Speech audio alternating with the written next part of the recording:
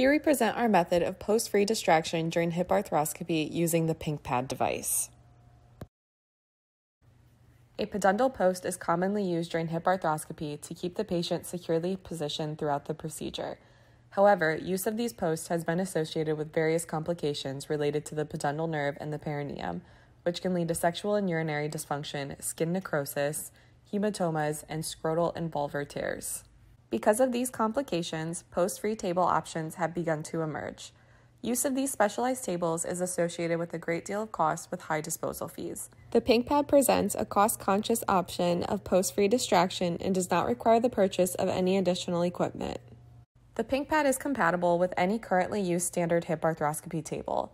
It prevents movement of the patient during the surgery through the creation of friction between the patient, the PinkPad, and the bed. The pink pad is placed on top of the bed, and the widest part of the pink pad is matched up with the widest part of the Smith & Nephew bed attachment. The most distal portion of the pink pad is first secured to the bed using the wide purple Velcro strap that is attached to the underside of the pad.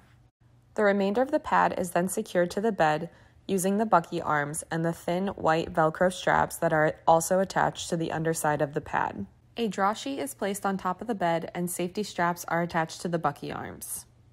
The patient is moved onto the pink pad, prepared under general anesthesia, and positioned so that the ASIS is in line with the widest portion of the bed attachment.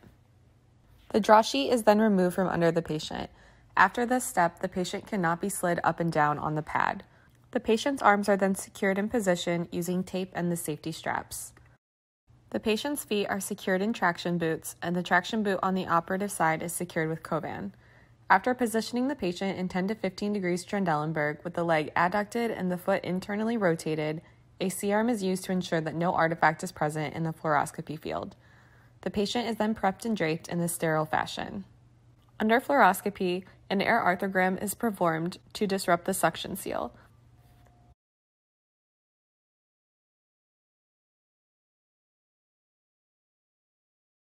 Maximum traction of at least 1 centimeter is then achieved by adjusting the distal traction arm. This is visualized under fluoroscopy. At this point, adequate distraction is accomplished to allow for visualization of the central compartment. The interportal capsulotomy is started through the anterolateral portal and finished through the modified mid-anterior portal. Central compartment procedures, such as rim trimming and labral repair, are performed if indicated. Traction is then released and attention is turned to the peripheral compartment. A T-capsulotomy is performed using an arthroscopic blade, allowing for adequate access during osteochondroplasty. Complete cam lesion resection can be ensured through internal rotation of the leg, allowing for visualization of the anterior portion of the femoral neck. The hip arthroscopy procedure is then completed with capsular and portal closure.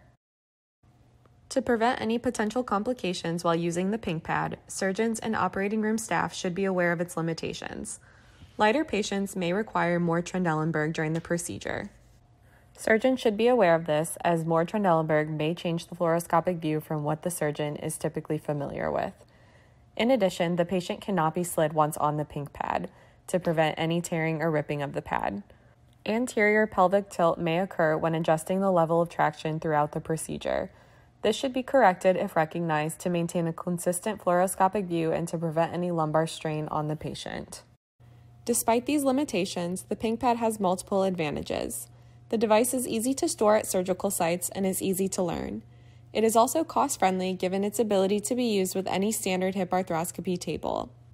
Because there is no post present, a greater range of motion can be achieved, allowing for better access to more parts of the femoral neck and an improved view during cam resection. The ability to more freely internally rotate the leg allows for a better assessment of whether complete cam resection has occurred. The pad also eliminates the potential for any post related complications while providing adequate distraction for visualization during central compartment procedures.